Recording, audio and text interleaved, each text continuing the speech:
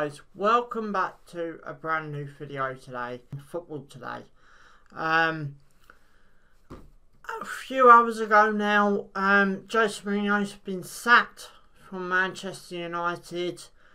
Um, Michael Carrick's going to take temporary charge for the next 48 hours and Man United are saying that they're going to have a new temporary manager to the end of the season. Um, I'm going to start off by talking about Jose, um, and then I'll work on with Carrick and what responsibles I have done with him, and then I'll work on who's the odds-on favourite to get the permanent manager's job. Um, but as I just said, starting off with Mourinho, um, let's see where he went wrong in my eyes. Um, you know, he got a new two-year contract towards the end of last season, but then the uh, board, Man United board, refused to back him with any of the play, uh, any of the spending money. It's very limited. He spent 90 million on Paul Pogba. Will move in my eyes. Um, some Man United fans might agree with me, some might not. But if you don't, that's up to you. Um, you know, they're happy to pay out a lot more than what they would have done if they didn't offer him the two two uh, year contract. Um, they would have, you know, I would have just kept him, would have let him go. Um, obviously, results ain't going United's way anyway. Losing to Liverpool this week had just gone. Um, Valencia, um, just literally qualifying in the Champions League by the skin of their teeth.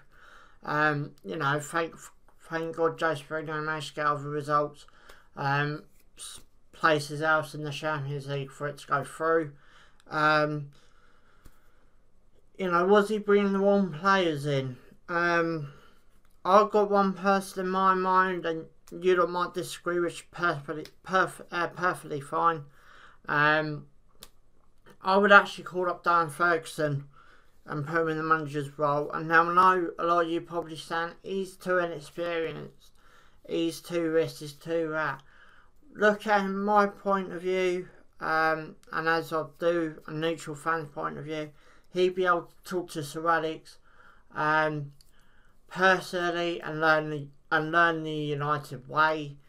Um, you know, it's all these things, unfortunately, but um, you know, we're going to have to wait and see to see who is the new permanent manager. Possibly, I'm guessing it's going to come at the end of the season, not not anytime soon.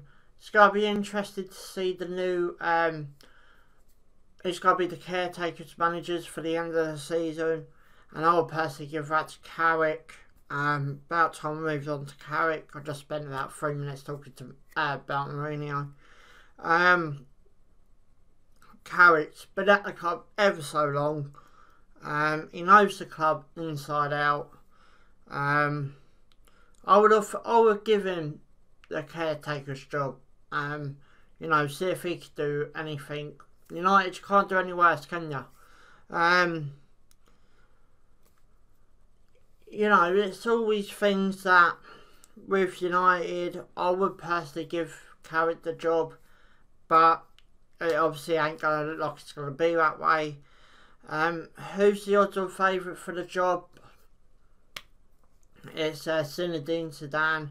Whereas, whereas that Pochettino could be in there, you know, it could be a load of managers um, within that the uh, game of football. Um, but, you know, it's one of them things. Mourinho has gone from United um, it's going to be an interesting season for, well, I'm, well I suggest for United now. Um, you know, United fans, was it the right decision? Put it down in the comments below. Um, but anyway, guys, I'm going to bring this video to an end. Just a short little story about what's happened today. So, guys, you know what to do. Subscribe for more. Thanks for watching. Ciao for now.